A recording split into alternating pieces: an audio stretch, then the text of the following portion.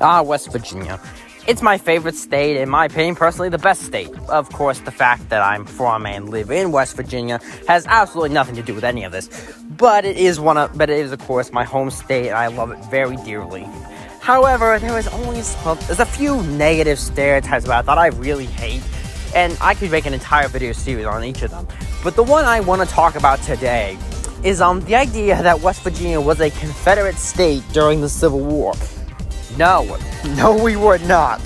West Virginia was not a Confederate state during the Civil War. West Virginia was literally born from the Union parts of Virginia.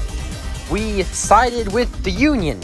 We were made during the Civil War by the Union on the Union side. It's, it's not even like a question. It's not even like a, oh, well, like, maybe you kind of know. West Virginia was a Union state through and through.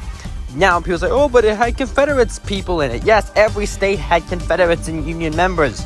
I'm talking about the actual state. And yes, it was a huge issue. Like families were split on multiple sides. But here's the thing that was everywhere.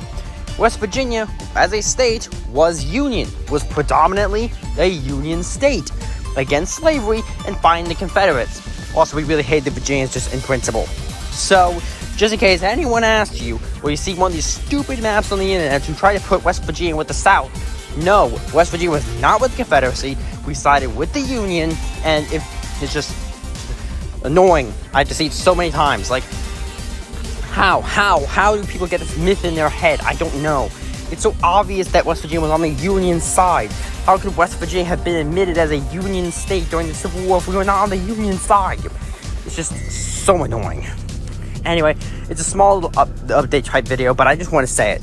Anyway, if you have any thoughts or opinions, you know, leave in leave them in the description below. Or sorry, comments. I'm bad with names.